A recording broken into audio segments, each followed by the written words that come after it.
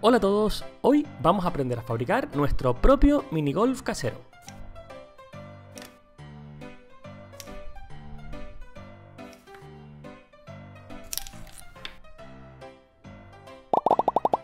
Bueno, y para ello vamos a necesitar los siguientes materiales. Una plancha de madera de 30 por 60 centímetros, unas planchas de fieltro de color verde, unos cuantos listones de madera y silicona fría. Bueno, lo primero que tenemos que hacer es poner silicona fría sobre la plancha de madera para poder pegar el fieltro de color verde. Pegaremos una lámina al lado de la otra.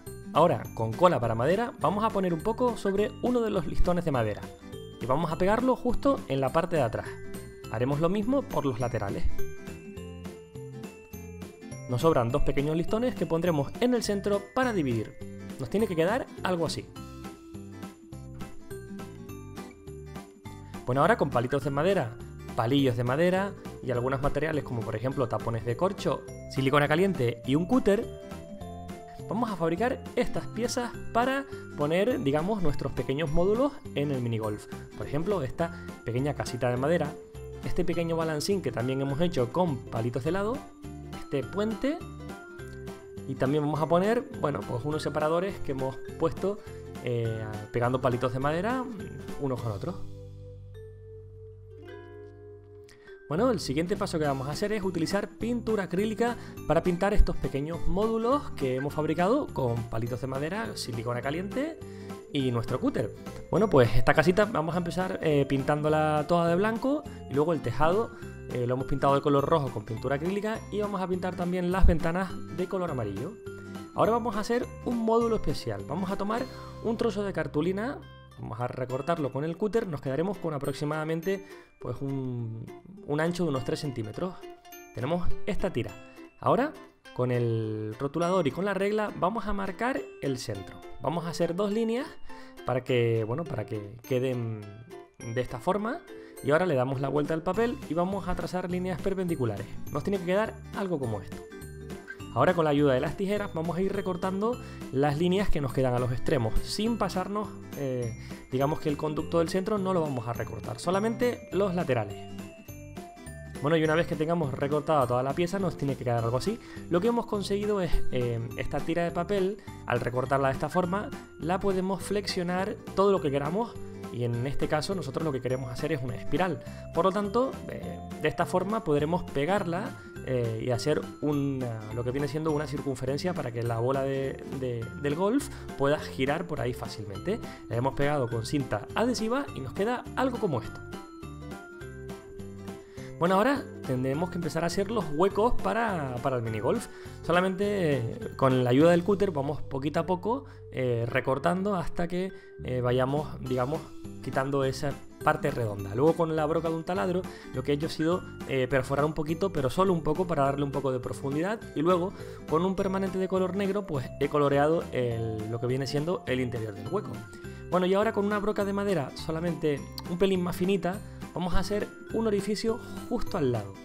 Y ahora os explicaré para qué es este orificio. Tenemos que tener cuidado para no llevarnos el fieltro, y bueno, luego lo terminamos con la mano y nos queda un agujerito así. He recortado también tres trocitos de cartulina de tres colores diferentes y ahora sobre un papel blanco vamos a poner eh, números del 1 al 3. Yo por ejemplo he usado tres colores diferentes, pero bueno, esto es opcional. Una vez que los tengamos, los recortamos y los vamos a pegar sobre los tres triángulos de cartulina para que nos quede algo así. Y ahora con tres palitos de chupete, pues bueno, los hemos recortado y vamos a poner un poquito de pegamento de contacto para pegar los cartulinas ahí. Y ya tenemos, bueno, lo que nos vienen siendo nuestros banderines para los hoyos número 1, número 2 y número 3. Simplemente tenemos que presionar un poquito y encajan perfectamente. Aquí tenemos el 1, en el medio el banderín 2 y en el extremo derecho el banderín número 3. Bueno, ahora simplemente empezamos a colocar los módulos. Empezaremos poniendo esta casita al principio en el módulo 1 para que la bola pase por debajo de la puerta y esta segunda pieza, bueno, que no es más que un corcho y un trocito de, palito de madera.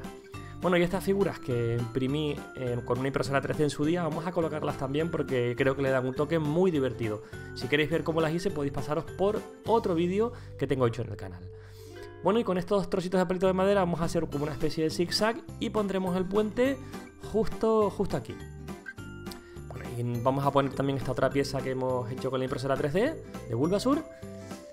Y bueno, ahora con el, empezamos con el módulo 3, vamos a poner el, looping y el balancing justo después.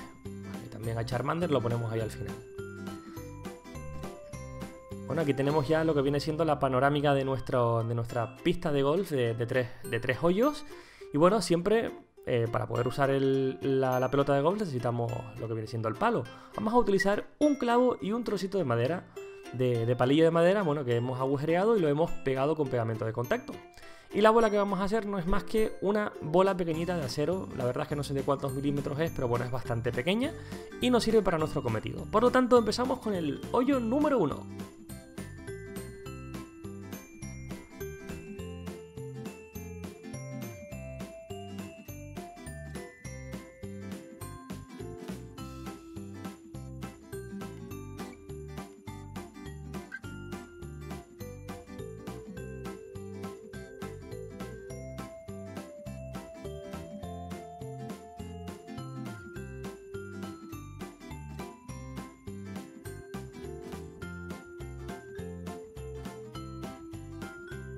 Y bueno compañeros, hasta aquí el proyecto de hoy, es muy fácil de hacer y la verdad es que es bastante entretenido.